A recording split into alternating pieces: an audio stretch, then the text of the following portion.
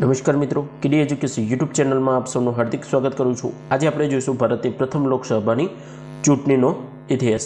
તો વિડીયોને ચાલુ કરતા પહેલાં વિડીયોને લાઇક શેર અને સબસ્ક્રાઇબ કરી દેજો અને નોટિફિકેશન બેલ આઇકોન દબાવવાનું ભૂલતા નહીં, જેથી કરીને આપણને તુરંત આની નોટિફિકેશન પડતી રહે. તો સ્વતંત્ર ભારતની પ્રથમ લોકસભાની ચૂંટણી પંચોતેર વર્ષ પહેલાં યોજાઈ હતી, જેમાં ત્રેપન પક્ષો મેદાનમાં ઉતર્યા હતા. છેલ્લા સડસઠ વર્ષમાં દેશમાં લોકશાહીના મૂળિયા ઊંડા ઉતરી ગયા છે અને ચૂંટણી પછી ચૂંટણી ભારતમાં મતદાન અને ચૂંટણીની પ્રણાલી પરિપક્વ થઈ ગઈ છે. આ બધું જ ઓગણીસો એકાવનથી બાવનની ચૂંટણીઓમાં શરૂ થયું. બરાબર?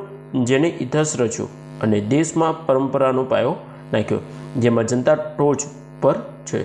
ચાલો, પ્રથમ સામાન્યની ચૂંટણી, એક રસપ્રદ સફર પર જઈએ. અને જ્યારે દરેક ભારતીયોના સપના રંગીન હતા, પણ દુનિયા બ્લેક એન્ડ વ્હાઇટ હતી.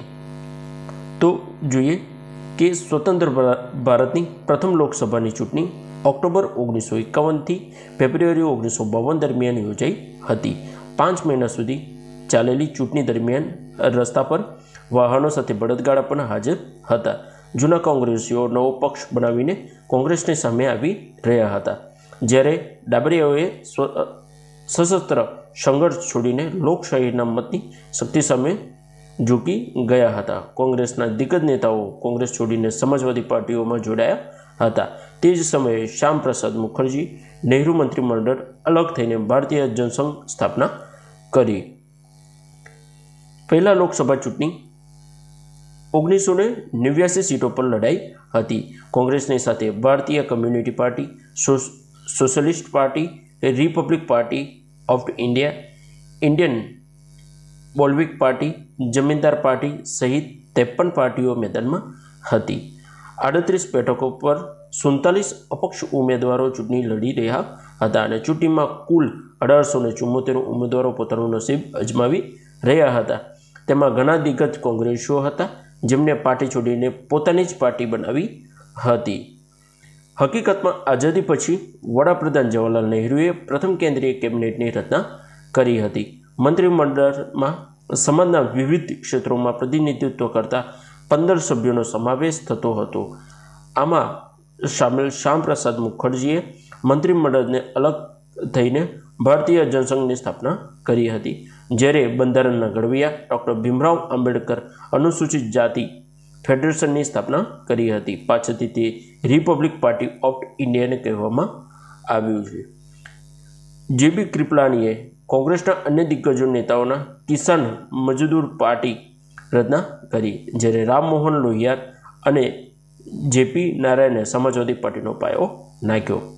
તેલંગાણામાં સશસ્ત્ર સંઘર્ષ છોડીને ને ડાબરિયાઓએ પ્રથમ લોકસભાની ચૂંટણીમાં ઓગણપચાસ બેઠક ઉપર ચૂંટણી લડી હતી. જ્યારે બોલ્વિક પાર્ટી અને જમીનદાર પાર્ટીએ અપક્ષ તરીકે ચૂંટણી લડી હતી. જ્યારે પ્રથમ લોકસભાની ચૂંટણીનું પરિણામ આવ્યું ત્યારે, જ્યારે ભારતની પ્રથમ લોકસભાની ચૂંટણીમાં પરિણામો બહાર આવ્યા, ત્યારે કોંગ્રેસ કુલ મતો પિસ્તાલીસ ટકા મત મળ્યા અને પંડિત જવાહરલાલ નહેરુને ભારતના પ્રથમ ચૂંટાયેલા વડાપ્રધાન બન્યા, જે સત્તર પોઈન્ટ ત્રણ કરોડ મતદાનોમાંથી ત્રણ લગભગ પિસ્તાલીસ ટકા નેતા માતાધિકારનો ઉપયોગ કર્યો હતો. ભારતીય રાષ્ટ્રીય કોંગ્રેસ એટલે કે આઈએનસી એ ચૂંટણીમાં ત્રણસો ને ચોસઠ ચોસઠ બેઠકો જીતી હતી. આ ચૂંટણીની સૌ ખાસ વાત એ હતી કે જેમાં સામેલ તમામ પક્ષો કોંગ્રેસ સિવાયના માત્ર બે જ પક્ષો ડબલ ફિગર સ્પર્શી શક્યા હતા. આ બે પક્ષો હતા જે ભારતીય સામ્યવાદી પક્ષ અને સમાજવાદી પક્ષ. ભારતીય કમ્યુનિટી પાર્ટીએ ચૂંટણીના સોળ બેઠકો જીતી હતી, જ્યારે સમાજવાદી પાર્ટીએ બાર બેઠકો મળી હતી.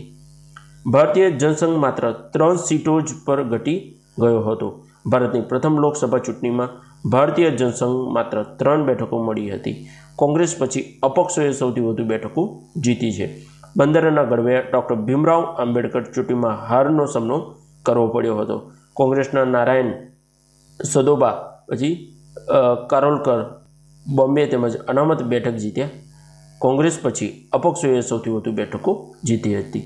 જ્યારે ભારતીય કમ્યુનિટી પાર્ટી આ ચૂંટણીના સોળ બેઠકો જીતવાની સફળ રહી હતી, પરંતુ પાર્ટીને વોટ ટકાવારી ગણી ઓછી રહી અને સીપીઆઈને માત્ર ત્રણ પોઈન્ટ ઓગણત્રીસ ટકા વોટ મળ્યા. જ્યારે આ મામલામાં તેમને કરતાં ઓછી બેઠકો જીતનાર સમાજવાદી પાર્ટી નસીબદાર હતી. જ્યારે